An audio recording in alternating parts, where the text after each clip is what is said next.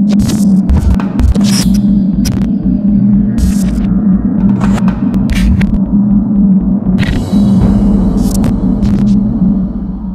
guys welcome back to cine time இந்த வீடியோவில் இந்த எபிசோடில் இப்போ நம்ம பார்க்க போகிறது டூ தௌசண்ட் டுவெண்ட்டி ஒன்னில் ஒரு ட்ராமா ஒரு த்ரில்லராக ரிலீஸ் ஆன வந்து க்ரை மேட்சோ அப்படிங்கிற ஒரு படம். நம்ம கிளைண்ட் ஈஸ்ட்வுட் அப்படிங்கிறவர் தான் அந்த படத்தை வந்து டைரக்ட் பண்ணியிருக்காரு. ஸோ கிளைண்ட் ஈஸ்ட்வுட்டை வந்து தெரியாதவங்க யாருமே இல்லை. ஒன்று இல்லை ரெண்டு இல்லை மூணு இல்லை அஞ்சு ஆஸ்கார் அவார்டு வின்னர் கிட்டத்தட்ட பார்த்தீங்கன்னா வந்து அஞ்சு ஆஸ்கார் வாரம் ஒன் நினச்சி பாருங்க. அஞ்சு ஆஸ்கார் அவார்டு ஒன்று வாங்குறதுக்கே வந்து மூச்சு தளம். அஞ்சு ஆஸ்கார் அவார்டு வின் பண்ண நம்ம கிளைண்ட் ஈஸ்ட்வுட் தான் இந்த படத்தை வந்து இயக்கி இந்த படத்தில் நடிச்சும் இருக்காரு.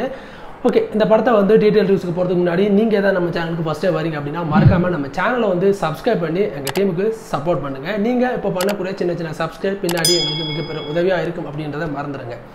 மறந்துடாதீங்க. பட் இந்த படத்தோட ஒன் லேலர் என்ன அப்படின்னு சொன்னால் மைக் இந்த இடத்துல வந்து ஈஸ்டர்ன் வுடோட பேர் பார்த்தீங்கன்னா மைக் அப்படின்ற பேர்.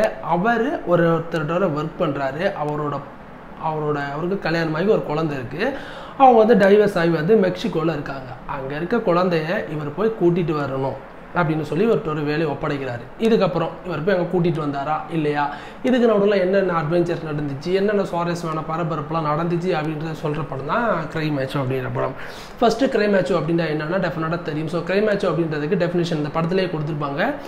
நான் சொல்ல மாட்டேன். நீங்கள் வந்து படம் பார்த்து நீங்களே தெரிஞ்சுக்கோங்க. படத்தோட ஸ்டார்டிங்கே பார்த்தீங்கன்னா வந்து ஆயிரத்தி தொள்ளாயிரத்தி எழுபத்தி ஒம்போதில் வந்து நமக்கு காமிக்கப்படுது. ஸோ அப்போது பார்த்தீங்கன்னா வந்து நம்ம ஹீரோ மைக் வந்து அவருக்கு பார்த்தீங்கன்னா வந்து கிட்டத்தட்ட ஒரு தொண்ணூற்றி ஒரு வயசு இந்த படத்தில் அவர் தொண்ணூற்றி ஒரு வயசில் அப்படியே தான் நடிச்சிருக்காரு. கிட்டத்தட்ட எழுபத்தி ஒன்பதாம் ஆண்டு காமிக்கப்படுறாங்க. அவர் வந்து ஒரு குதிரை இதில் வந்து பார்த்திங்கன்னா ஒரு மிகப்பெரிய ஒரு பயிற்சியாளராக இருக்கார். ஸோ அப்போ வந்து அவர் வந்து ரிட்டையர் ஆகி அங்கே அப்படியே வேலையும் பார்க்குறாரு. ஒரு நாள் வந்து அந்த குதிரை இதுக்கு வந்து வரும்போது அவங்களோட பாஸ் அங்கே இருக்கார். அவங்களோட பாஸும் இவரும் பார்த்தீங்கன்னா ரொம்ப ஃப்ரெண்ட்ஷிப்பாகவே இருக்காங்க. பட் இருந்தாலும் வேலை அப்படின்னு வரும்போது ஃப்ரெண்டு வேறு வேறு இல்லையா? ஸோ அவர் வந்து வர்றாரு. இன்றைக்கி இப்போ டைம் பார்த்தியா மைக் பத்தரை. இப்படி லேட்டாக நீ வந்தீங்கன்னா வந்து எப்படி நான் உன்னை வேலைக்கு வச்ச முடியும்? இனிமேல் உனக்கு இங்கே வேலை கிடையாது. நீ வந்து கிளம்பலாம். நான் ஒரு யங் பிளட்டை வேலைக்கு எடுத்துட்டேன் அப்படின்னு சொல்கிறாரு ஓகே கூல். நீ வச்சுக்கோ வேலைக்கு அப்படின்னு சொல்லிட்டு மைக் அங்கேருந்து கிளம்பிடுறாரு. கிளம்பி வீட்டில் போய் அவர் வந்து தனிமையாக உட்காந்துருக்கும் போது நமக்கு ஒரு ஃபோட்டோ காமிக்கப்படுது. அதில் வந்து பார்த்திங்கன்னா நம்ம மைக் பார்த்திங்கன்னா அந்த காலத்தில் வந்து ஒரு மிகப்பெரிய ஒரு ஹோர்ஸ் டிரைவர் ரைடராக இருந்திருக்காரு.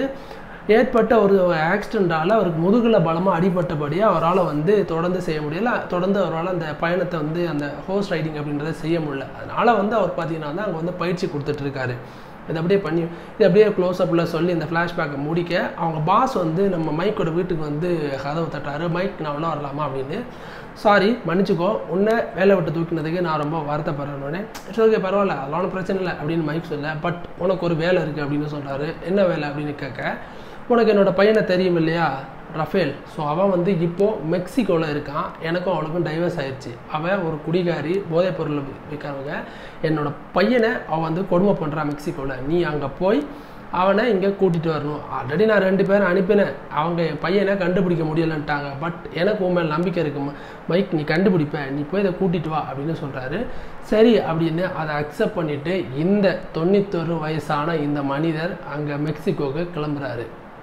ஸோ டெக்ஸாஸ்லேருந்து மெக்சிகோ கிளம்புறாங்க. டெஃபினட்டாக அமெரிக்கன்ஸை வந்து அந்த மெக்சிகன்ஸ் வந்து எந்த மாதிரி ரீட் பண்ணுவாங்க அப்படின்னு நமக்கு தெரியும். அதுக்குள்ளே போயிட்டு அவரோட பையனை வந்து பார்க்கலாம் அப்படின்னு சொல்லி போகிறாரு அவரோட பையனை வந்து கண்டுபிடிச்சிடுறாரு. கண்டுபிடிக்கிறதுக்கு முன்னாடி அவங்களோட அம்மாவை போய் மீட் பண்ணுறாரு அவங்க அம்மா ஒரு ஆல்கஹால் அதெல்லாம் தாண்டி ஒரு குடிகாரி அப்படின்றலாம் தாண்டி அவங்க அம்மா ஒரு சாரி அவங்க அம்மா ஒரு ட்ரக்ஸ் வியாபாரம் பண்ணுறவ அதனாலே வந்து அவர் வந்து நீ என் பையனை வந்து முடிஞ்சால் கண்டுபிடி. கண்டுபிடிச்சி உன்னால் முடிஞ்சால் கூட்டி போக முடிஞ்சால் நீ கூட்டிகிட்டு போ. அப்படின்னு மாதிரி சொல்ல இவர் வந்து கண்டுபிடிக்கிறாரு. கண்டுபிடிச்சதுக்கு அப்புறம் அங்கேருந்து அவரை கூட்டிகிட்டு போகும்போது பையன் வரமாட்டேன் அப்படின்னு சொல்கிறான் இல்லை நீ வா. உங்கள் அப்பா உனக்காக வெயிட் பண்ணிட்டு இருக்காரு அப்படின்னு சொல்லி கூட்டிகிட்டு போகிறாங்க இதுக்கப்புறம் இந்த விஷயம் அவங்க அம்மாவுக்கு தெரிய வருது. ஒரு பக்கம் போலீஸும் தேட ஒரு பக்கம் வில்லன்ஸெல்லாம் தேட.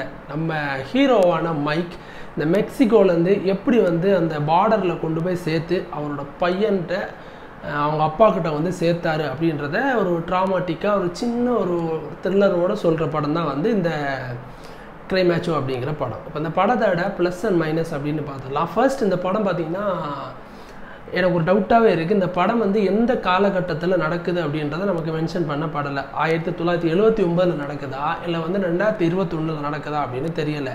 அவங்க போடுற காஸ்டியூம் அவங்க யூஸ் பண்ணுற பொருட்கள் அவங்க யூஸ் பண்ணுற காரு எல்லாம் பார்க்கும்போது டெஃபினட்டாக இது வந்து ஆயிரத்தி தொள்ளாயிரத்தி எழுபத்தி ஒம்பதில் நடக்கிற மாதிரி தான் டெஃபினட்டாக அந்த கதையை வந்து அமைச்சிருக்காங்க அப்படின்னு தெரியும்.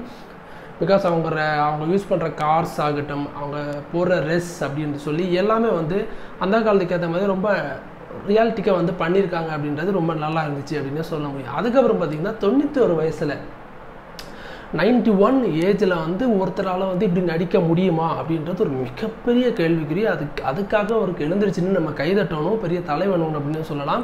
தொண்ணூற்றொரு வயசில் நடந்து கார் ஓட்டி அப்படின்னு சொல்லிட்டு பல விஷயங்களை வந்து ஈஸ்டன் வந்து இந்த கிளைண்ட் ஈஸ்டன் வந்து இந்த படத்தில் வந்து பண்ணியிருப்பாரு. ஸோ அவரோட ஆக்டிங் அப்படின்றதுக்காகவே தொண்ணூற்றொரு வயசில் கூட இவ்வளோ பர்ஃபெக்டாக வந்து நடிக்கிறாரு அப்படின்றதுக்காக இந்த படத்தை வந்து டெஃபினட்டாக நம்ம பார்க்கலாம் அப்படின்னு சொல்லலாம். அதை தாண்டி இந்த படத்தில் பார்த்தீங்கன்னா வந்து அந்த கூட்டிகிட்டு போகிற அந்த ரஃபேல் அப்படிங்கிற பையனுக்கும் நம்ம மைக்குக்கும் பார்த்தீங்கன்னா ஒரு சின்ன பாண்டிங் வரும். ஸோ அவங்க ரெண்டு பேரும் பேசிக்கிற விஷயம் நிறைய விஷயங்கள் வந்து நமக்கு ரொம்ப பிடிக்கும். எனக்கு பர்டிகுலராக இந்த படத்தில் பிடிச்சது ஒரு காரில் போயிட்டு நைட் ஆகிடும் அப்போ ஒரு பாலைவனத்தில் ஸ்டே பண்ணுவாங்க. அப்போ வா தூங்கலாம். காருக்குள்ளே தூங்கலாம். அங்கே சேஃப்டியில் காற்று வராது. பட் இங்கே வந்து இயற்கை காற்று வரும். இது வந்து டெக்ஸஸ் மாதிரி கிடையாது. இங்கே வந்து ரொம்ப இயற்கையான காற்று அப்படின்னு சொல்லிட்டு அந்த பையன் டிஷர்ட்டை கலட்டுவான் என் உடம்புல என்ன காயம்? அப்படின்னு கேட்க நீ அதை தெரிஞ்சுக்க விரும்புறியா? அப்படின்னு சொல்ல.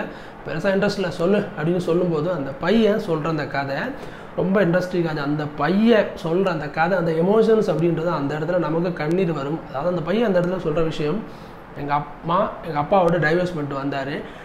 டெய் ஓ வேறு ஒருத்தவங்களை வந்து அங்கிள் அப்படின்னு கூப்பிட சொன்னார். இன்னைக்கு ஒருத்தரை நாளைக்கு ஒருத்தர் நாளைக்கு ஒருத்தர் டெய்லி ஒரு ஒருத்தரையும் அங்கிள் அப்படின்னு கூப்பிட சொன்னார். எனக்கு அப்படி கூப்பிட பிடிக்கல. அதனால் எங்கள் அம்மா என்ன வெறுக்கிறாங்க அப்படின்னு சொன்னார்.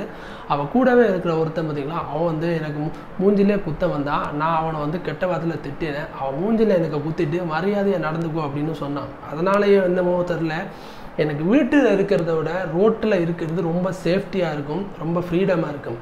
நான் அப்படி ரோட்டில் படுக்கும்போது தான் எனக்கு இந்த மாதிரி காயங்கள் ஏற்படுது அப்படின்னு சொல்லி அந்த பையன் அழுகிற அந்த காட்சி அப்படின்னு இருக்கு இல்லையா? ரொம்ப எமோஷனலாக இருக்கும்.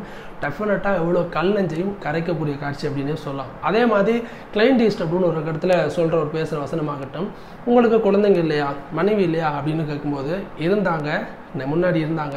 ரெண்டு வருஷம் முன்னாடி ஒரு ஒரு ஆட்டோ ஆக்சிடெண்ட்டில் இறந்து போயிட்டாங்க. அவங்க இறந்ததுக்கப்புறம் என் லைஃபே வந்து சேஞ்ச் ஆகிடுச்சு சோகமாகிட்டேன் நிறைய குடிக்க ஆரம்பிச்சிட்டேன். என் வேலையில் சரியாக கவனம் செலுத்த முடியலன்னு அவர் ஃபீல் பண்ணுற அந்த சீன்ஸ் எல்லாமே வந்து ரொம்ப சூப்பராக நம்ம எமோஷனாக நம்ம ஹார்ட்டை டச் பண்ணுற மாதிரி காட்சிகள் நிறையவே இந்த படத்தில் இருந்துச்சு.